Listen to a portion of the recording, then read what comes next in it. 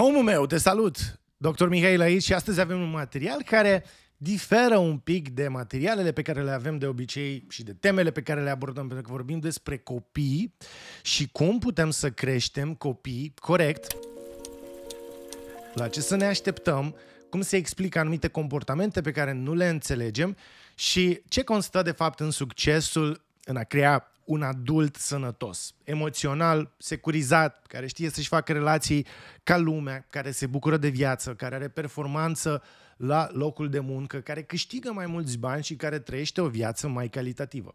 Și foarte mulți oameni au încercat să răspundă la aceste întrebări și răspunsurile sunt, din păcate, contraintuitive, după cum o să vedeți în acest material. Atenție, acesta nu este un material despre parenting, există foarte mulți experți care vorbesc despre parenting de foarte multe ori. Ce vedem noi pe internet despre parenting, de multe ori, probabil că ați uh, sesizat, este exagerat. De exemplu, materiale în care experți în parenting ne spun nu, nu pupa copilul pe gură, pentru că o să-i transmiți bacterii, și pentru că o să-l înveți să pupe alți oameni pe gură. Ceea ce e o tâmpenie. Sunt tradiții și culturi, de fapt, în care părinții își pupă pe gură copiii. Până la o anumită vârstă, bineînțeles, în primii ani de viață. Când el devine adolescent, poate este ceva, să zic, uh, contraindicat din punct de vedere emoțional, dar uh, nu, nu-i transmiți pe gură bacterii copilului. Copilul ăla are nevoie de bacterii de la tine încă de când se naște. S-a demonstrat că copilul când se naște pe cale vaginală, el ia bacterii de acolo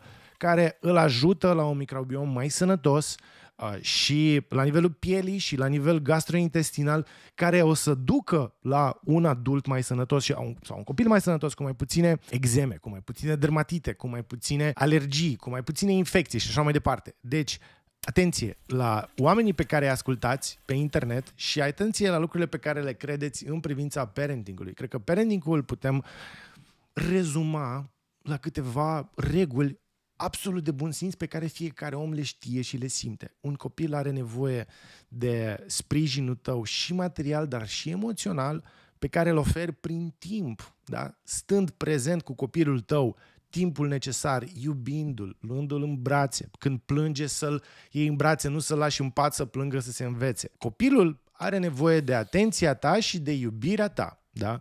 În special în primii ani de viață, 7, 8 ani de viață, până când ajunge adolescent. Și acum ajungem la subiectul nostru pentru că foarte mulți părinți sunt speriați de faptul că, băi, mi-am iubit copilul, l-am crescut atât de securizat, i-am dat încredere în el, i-am explicat chestii, m-am ocupat cu timpul meu de el și deodată devine un adolescent rebel și zice, mamă, tată, lasă-mă în pace, plec uh, de acasă, mă duc la petreceri, nu-ți mai răspunde la telefon și te întreb, băi, ce s-a întâmplat, de ce am crescut acest copil? Sau vedem copiii la prieteni de-ai noștri care aparent sunt din familii bune, dar ajung să fie rebel și să se certe cu familia și vreau să explicăm chestia asta. Prima uh, sursă pe care o să dau este o carte care se cheamă Don't Trust Your Gut. Este scris de un scriitor pe nume Seth Davidovici. Cartea asta este despre date, despre cum poți să analizezi datele mari pe care le avem și cum poți să tragi concluzii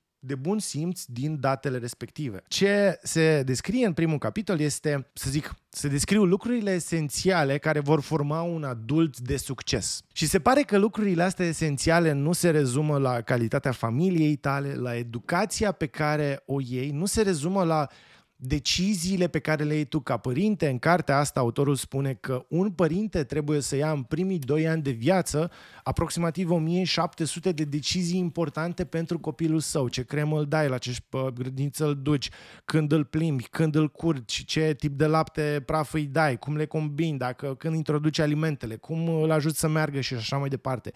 1700 de decizii. Și una singură se pare că are cea mai mare importanță în calitatea viitorului adult. Și cum s-au extras datele și cum s-a ajuns la concluzie pe care imediat vă spun, s-a făcut un fel următor. Asta a făcut un uh, cercetător care, uh, care poartă numele Ray Chitty. Este un indian genial care a primit multe premii de geniu, efectiv, în, în științe și în informații și în înțelegere a lucrurilor și în concluziile pe care le trage. Și acest uh, om de știință a luat ceea ce se cheamă registrul american de plătitori de taxe, care este un registru amplu cu foarte multe informații, foarte complex, în care fiecare cetățean american este urmărit din momentul în care se naște până în momentul în care moare și în acest registru sunt incluse date precum uh, părinții, venitul părinților în funcție de taxele pe care le plătesc, frați și surori, locul în care acei copii locuiesc, uh, vecinii da, și calitatea vecinilor acelor copii, ce salariu încep să aibă acest, acești copii, cât de des merg la vot, cât de des răspund la chestionare uh, din acestea statistice epidemiologice care se fac la tot felul de recinsământuri și așa mai departe. Practic este o bază de dată enormă care urmărește oamenii de la naștere până la moartea lor și din, uh, din aceste date poți să tragi niște concluzii. Și se pare că cel mai important factor pe care uh, cel mai important factor care ghidează succesul viitorului adult nu este nici educația părinților, nu este nici școala la care îl dai pe copil, pentru că foarte mulți oameni dau copii la școli foarte, să zic, uh, foarte scumpe, crezând că asta e cireașa de pe tort, asta este ceea ce va, le va decide uh, destinul. Deci nici școala la care învață acei copii, nici măcar uh, dacă termină școala sau nu, sau dacă uh, termină facultatea sau ce tip de facultate o să aibă. Ci cel mai important factor care contează în succesul viitorului adult este cartierul în care stai. Este efectiv cartierul în care stai prin prisma vecinilor cu care acest copil, la un moment dat adolescent, o să intre în contact. Și ceea ce arată acest uh, mare și amplu studiu este că, de exemplu, fetițele care trăiesc în cartier, în care au vecine, da, vecine, nu vecini bărbați, ci vecine femei care sunt uh, inventatori de succes, au cele mai mari șanse să ajungă inventatori de succes. Copiii care stau în cartiere unde vecinii fac sport, da? deci dacă copilul tău nu te vede neapărat pe tine și ceea ce faci tu contează foarte mult, dar dacă copilul tău vede vecini da? care ies dimineața și aleargă în parc, este uh, foarte plauzibil să credem și asta s-a demonstrat în, acest, în această cercetare, că acei copii vor fi mai predispuși să facă sport și să aibă o viață mai sănătoasă. Și lista asta, bineînțeles, continuă cu aceste exemple pozitive, dar oamenii s-au întrebat de ce oare cartierul contează mai mult și sunt câțiva metrici care practic definesc un cartier bun. Unul este legat de numărul de vecini din acel cartier care au studii superioare și vorbim de studii superioare pe bune, adică numărul de profesioniști care au terminat o facultate și lucrează profesional în acel domeniu complicat. Deci cu cât numărul de vecini inteligenți, care sunt performanți la locul de muncă, care au terminat o facultate, cu cât numărul ăsta e mai mare, cu atât ai mai mari șanse ca copilul tău să fie mai de succes. Repet, nu școala la care îl dai, ci numărul de vecini care au terminat o facultate. Al doilea metric care a contat în această cercetare a fost numărul de familii biparentale, adică familii care trăiesc cu mamă, tată și așa mai departe și copii. Și al treilea factor care a contat, e un pic ciudat, e, era numărul de, sau procentul de persoane care completează aceste uh, chestionare la recensământ. Da? Deci cu cât vecinii vor completa mai des chestionarele de la recensământ,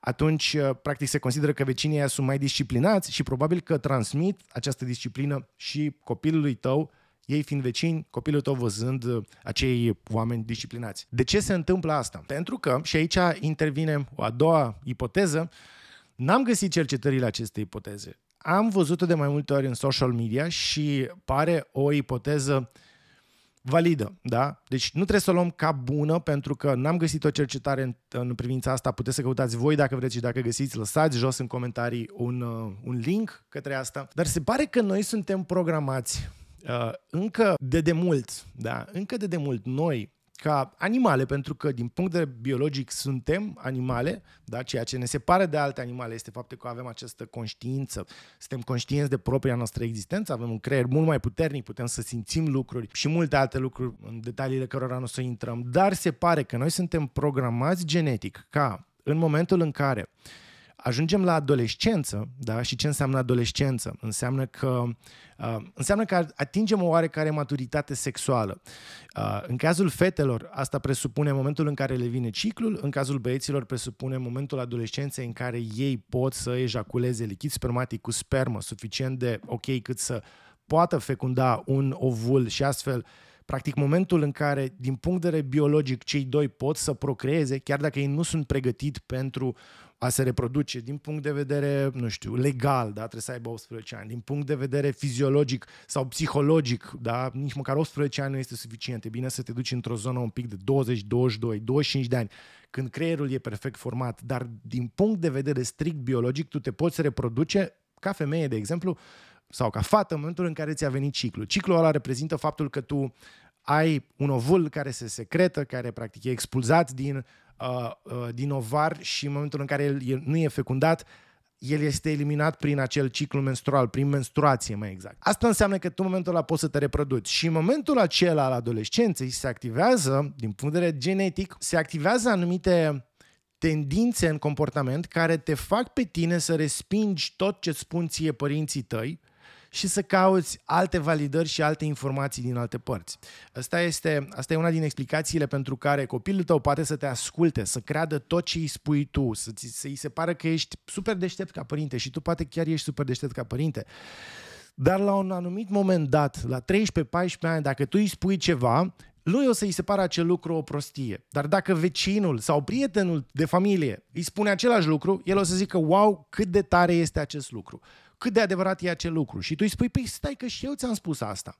Dar lui se pare că ceea ce spui tu este o prostie. Explicația la care revin este faptul că în momentul în care tu începi sau când atingi vârsta reproductivă, acesta este un mecanism biologic care pe tine te apără de un potențial incest. Pentru că noi pe vremuri trăiam în triburi foarte mici. Să zicem în triburi de 100 de persoane. Într-un trib de 100 de persoane e foarte probabil să întâlnești o verișoară un unchi de gradul 3, de gradul 4, care să aibă aceeași vârstă, care să pară din alte familie, dar fiind înrudit din punct de vedere genetic, tu dacă faci copil cu persoana respectivă, șansele ca două gene stricate să se împerecheze și să dea naștere la un copil bolnav sunt foarte mari. Practic, ăsta e mecanismul prin care biologia te apără de la a face un copil cu o rudă îndepărtată în tribul tău și practic de a face un copil bolnav, mecanismul ăsta te face să nu-ți mai placă din punct de vedere psihologic să nu te mai aliniezi la valorile și la emoțiile tribului în care tu trăiești și asta te împinge să cauți un alt trib. Și astfel au apărut migrațiile dintre triburi, uh, ghidate de acest mecanism genetic cel mai probabil, în care tu în momentul în care atingi vârsta adolescenței, tu începi să cauți un alt trib în care să ajungi să te reproduci și după ce te-ai reprodus undeva la 18-19 ani, acest mecanism se stinge și ție din nou ți se pare că tribul tău e cel mai frumos și te întorci acolo, deja probabil cu copil, cu o nouă familie. Ăsta este și motivul pentru care copiii, de foarte multe ori, când ating perioada adolescenței, aproape că nu te mai înțelegi cu ei uh, și încep din nou să te înțelegi cu ei la 18, la 20, la 25 de ani. Mie pot să fiu sincer, dacă încerc să-mi aduc aminte, pot să spun că aproape la fel mi s-a întâmplat, doar că trăim alte timpuri, bineînțeles că nu plecăm în alte triburi să ne reproducem, Doamne ferește, dar perioada aia de adolescență e o perioadă în care tu nu mai ești de acord cu valorile părinților tăi, cu lucrurile pe care ei ți le spun, pentru că genetic ești programat să fugi de ei. Și ce învățăm din asta este faptul că noi, ca părinți, fie că avem copii care urmează să intre în această perioadă, fie că am avut copii care au trecut de această perioadă și vrem să înțelegem ce s-a întâmplat de fapt, ce putem să tragem de aici ca și concluzie și ce putem să facem dacă avem copii care trec prin această perioadă, este să ne dăm seama că influența noastră asupra acestor copii în perioada adolescenței este extrem de mică. Orice am face, oricât de mult i-am pedepsi, oricâte meditații le-am lua, ori la câți uh, psihologii i-am, i-am trimite, influența noastră ca părinți în adolescența copiilor scade dramatic. Și ceea ce poți să faci bazându-ne pe cele două lucruri despre care am vorbit până acum, această carte de care v-am spus și această ipoteză care circulă pe internet, cel mai bun lucru pe care poți să-l faci astfel încât să continui această educație bună a copiilor tăi este unu, e mai greu într-adevăr, fie să te muți într-un cartier bun, un cartier în care ai oameni civilizați, oameni care fac sport, oameni care au reușit, nu un cartier snobish, nu un cartier cu uh, oameni parveniți, ci cu oameni care efectiv sunt profesioniști, sunt muncitori, sunt disciplinați, trăiesc în familii biparentale. Ăștia sunt oamenii de la care copilul tău o să învețe mult mai mult decât o să învețe de la tine sau de la școala la care îl dai. Un al doilea lucru pe care putem să-l facem, care este mai ușor, este să ne cultivăm relații bune, pozitive cu adulții din jurul nostru și să ne facem prieteni care pot influența pozitiv acești copii. Și probabil că mulți dintre noi instinctiv ajungem să simțim asta, pentru că fără să existe aceste studii, eu mi-aduc aminte cum uh, părinții mei, care își doreau ca eu să devin medic, niciodată în viața lor nu mi-au zis, băi, dar nu vrei să dai la medicină? Din contra, era o psihologie inversă din asta ciudată în care ziceau, bă, nu da la medicină, uite, și bunica e medic, tata e medic, lucrează o grămadă, e greu, mai bine te faci IT, mai bine te faci altceva. Dar în același timp, toți prietenii părinților mei erau medici, cumva de la sine înțeles, pentru că taică meu medic, erau colegii lui, dar toți prietenii părinților mei erau medici, mergeam la petreceri cu medici, îi vedeam, îi stimam, învățam chestii de la ei și ce mi-a recunoscut maica mea la un anumit moment dat este că ea în secret vorbea cu toți acești prieteni de-ai lor și îi ruga, îi ruga efectiv în genunchi să mă cheme la spital în gardă. Ruga o prietenă să, ginecolog să mă cheme, să mă sune și să-mi zic, atenție, eram în clasa 9. Doamna asta mă chema și cumva probabil că în mare parte datorită ei și datorită mamei care o ruga să facă asta, am ajuns să, să fac medicină și să-mi placă medicina. Deci, doamna aceasta, care în fine, Janina Brașoveanu a mai povestit despre asta, ea mă suna, eu eram în clasa noua, ea mă suna și zicea, hei, ce faci, Mișa? Uh, uite, am o cezariană, nu vii să mă ajuți că am rămas fără ajutor și n-am cu cine să nasc. Ea, bineînțeles, avea cu cine să nască, avea cu cine să intre în sală, fie o moașă, fie o asistent, fie o rezidentă. Dar ea se prefăcea că nu avea cu cine să intre în sală și mă chema să o ajut. Iar eu, pur și simplu, mă simțeam, cum să vă zic, mă simțeam uh, validat. Îmi plăcea să mă duc să văd și să asist la o cezariană, să o ajut să tragă de mușchi, să scoată copilul, să văd copilul. Era efectiv o minune să vezi așa ceva. După aia mă lăsa să cos sau mă ajuta să cos pacienta. Bineînțeles, totul supravegheat și totul uh, super controlat. Lucrurile astea mie mi-au insuflat o, cum să zic, o, iubire față de medicină și față de chirurgie pe care niciun părinte, oricât de mult și-ar bombarda copilul cu informații sau cu rugăminți, n-ar putea o insufla. Și astfel, mergând des la aceste cezariene, la aceste gărzi, văzând împreună cu ea pacienți, am prins drag și de ce face ea și de profesionalismul ei și de rigoarea cu care opera și de disciplina cu care făcea toate lucrurile și am văzut medicina vie acolo, întâmplându-se și asta m-a făcut să mă îndrăgostesc de medicină și practic în capul meu nu exista nicio altă nicio altă variantă de a merge la nicio altă facultate care să-mi placă mai mult decât această medicină. Deci iată că maica mea și părinții mei practic făceau asta cumva instinctiv și ăsta e, cred că, un exemplu foarte bun de luat și pentru voi dacă sunteți părinți și aveți uh, copii și vreți să le dați o direcție mai bună. Oricât de mult le-ați spune, fă de avocat, nu o să-i ajute. Dar dacă vă faceți prieteni avocați, ieșiți cu ei în oraș, îi lăsați pe copiii voștri să vadă cum se comportă, cum vorbesc, uh, ce succes financiar au, cât de satisfăcuți sunt de munca lor. Atunci e foarte probabil că acel copil să urmeze sfatul vostru pe care îl dați în felul ăsta, uh, să zic, mai ascuns, mai uh, nu-mi dau seama cum să zic. Și totuși, ca să nu rămânem la aceste date anecdotice, fie că vorbim despre carte, da, e părerea unui scriitor, fie că vorbim despre social media unde nu găsim surse neapărat, fie că vorbim despre uh, experiența mea personală cu părinții mei, uh, pot să vă aduc în față și acest studiu care se cheamă When Friendships Surpass Parental Relationship as Predictor of Long-Term Outcomes. Și ceea ce se spune în acest studiu e un studiu făcut uh, pe 86 de băieți și 98 de fete care au fost urmăriți de la 13 ani, deci cam în mijlocul adolescenței, până la 27 de ani. Și au fost uh, evaluați prin rapoarte observaționale, autoevaluări, rapoarte de la părinți și rapoarte ale prietenilor apropiați. Deci oamenii ăștia, da, 200 aproape, au fost urmăriți timp de 14 ani cu rapoarte care erau luate și de la ei și de la părinți și de la prieteni și așa mai departe. Și ce s-a constatat? Atenție mare. S-a constatat următorul lucru, că calitatea prieteniilor strânse în adolescență a fost un predictor semnificativ mai bun al rezultatelor la vârsta adultă în ceea ce privește relațiile cu colegii și partenerii romantici, performanța la locul de muncă și simptomele depresive. Deci a fost predictor mai bun decât rapoartele părintești despre relația părinte-adolescent. Ce înseamnă asta? Concret, studiul întreg, puteți să intrați pe linkul din descriere și să-l citiți, este foarte interesant, este foarte complex, dar concluzia acestui studiu este că această calitate între adolescent și prietenii lui este un factor predictiv, adică pune o influență mult mai mare asupra ce relații o să aibă viitorul adult, ce relații sau parteneri romantici o să aibă, ce performanță o să aibă la locul de muncă și uh, simptomele depresiei sunt mult mai mult influențate de calitatea relației adolescentului cu prietenii săi decât calitatea relației adolescentului cu părinții. Deci părinții în cazul de față au un rol inferior, au un rol foarte mic, dar ce prieteni are adolescentul are o influență foarte mare asupra viitorului adult. Posibil pentru că avem aceste gene pe care încă nu le-am descoperit, doar bănuim că le avem, care ne spun în adolescență să ne tirăm din uh, tribul nostru, să plecăm din tribul nostru să căutăm alt trib. Sunt gene care ne spun că părinții noștri nu mai sunt relevanți.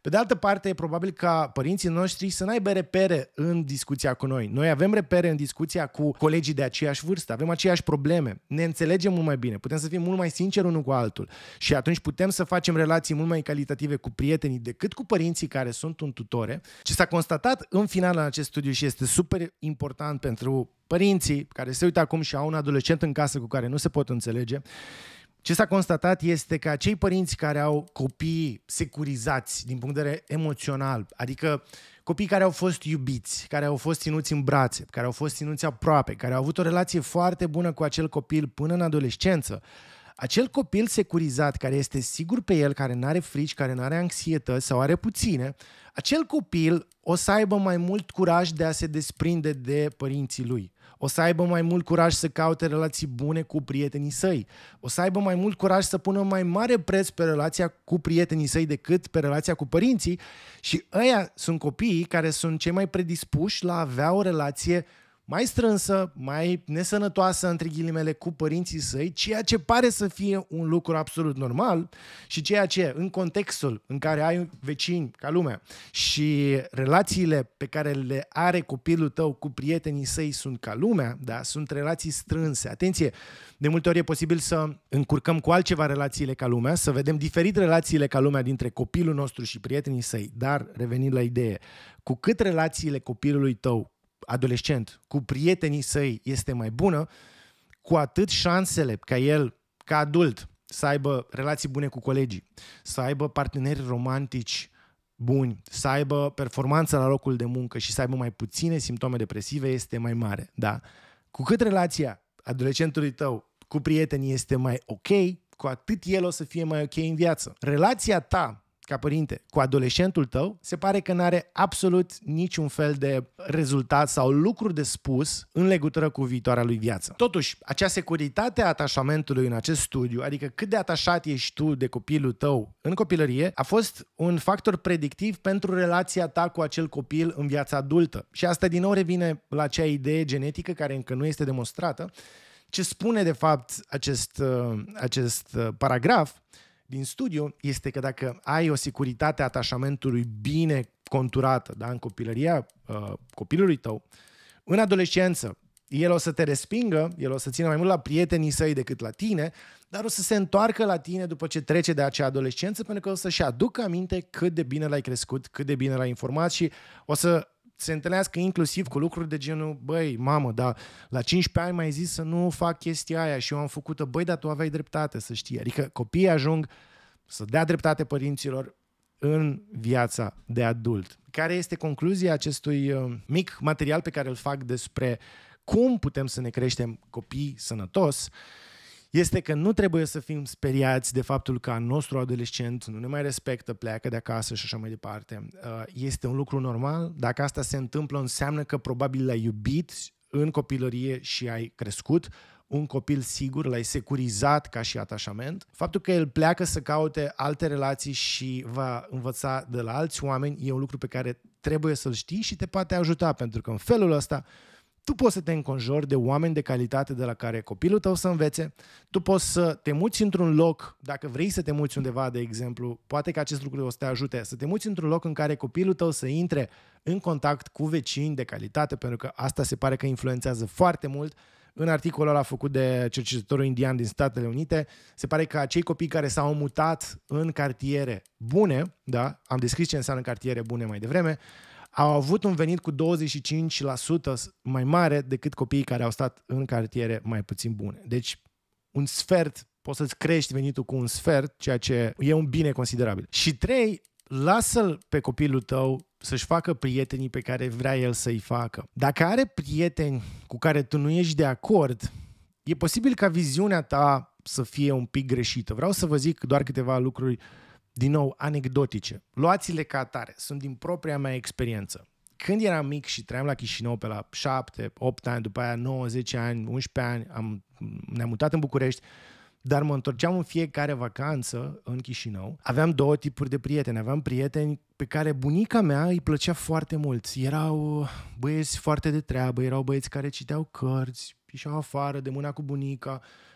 se plimbau în jurul lacului, erau visători și aveam, pe de altă parte, o altă gașcă de prieteni care, unul a ajuns în închisoare, încă este în închisoare, unul a fost găsit uh, în lac, i-au găsit capul în lac, unul nu știu unde a ajuns, Altul, care era cel mai bun prieten și cu care țin legătura și acum, a ajuns undeva prin Moscova, a fugit din Moscova când a început războiul, este ITist, în fine, oamenii au ajuns în toate direcțiile și aia era o gașcă de, de, uh, de adolescenți care se drogau, erau efectiv drogați, adică drogați, mă rog, fumau iarbă, dar pentru 13 ani, la 12-13 ani să fumezi iarbă, ai putea o cataloga ca pe drogați, da. Bunica zicea, ai, te duci afară cu acei drogați, ce o să înveți de la ei? O să înveți numai prostii.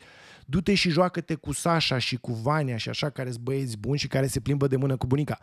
Și taică meu s-a dus la ea și a zis, băi bunico, îți place de, de Sasha și de Vania?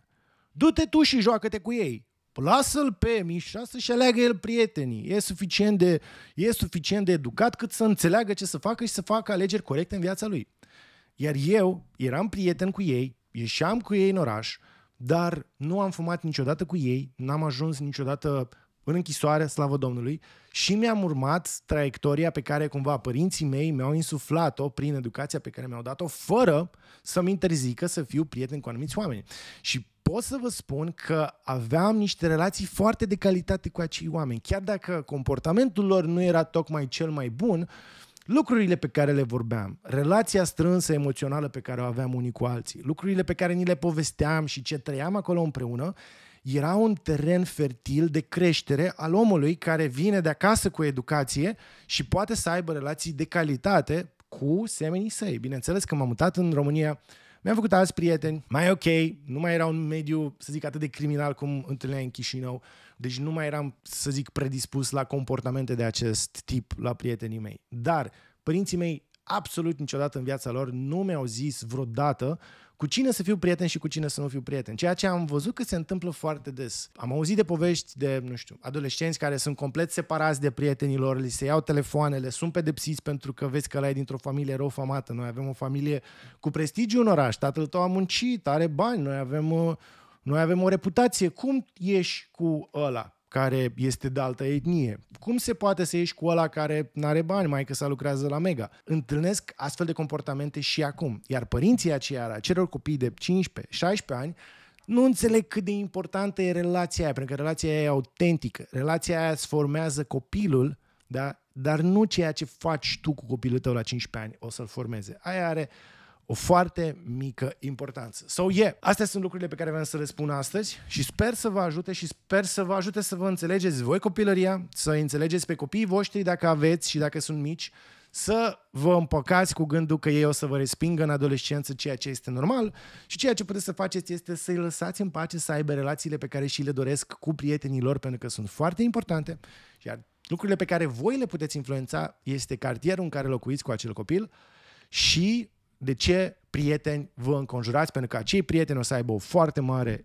influență asupra acestor copii ai voștri. Asta am avut de zis, mulțumesc că m-ați urmărit și de data asta. Nu uitați că avem o echipă în spate care crește și care apreciază și numără fiecare like pe care îl dați, fiecare subscribe pe care îl dați. Ne bucură super mult că acest cont crește super repede. Cred că este unul din conturile din România care are printre cele mai mari creșteri, da? adică avem cont de YouTube care, atenție, ăsta unde e? Ăsta l-am postat când? Acum, nu știu, câteva luni, acum jumătate de an. Ăsta este uh, cadoul pe care îl primești de la YouTube la 100 de mii de urmăritori și acum avem deja 168 de mii de urmăritori.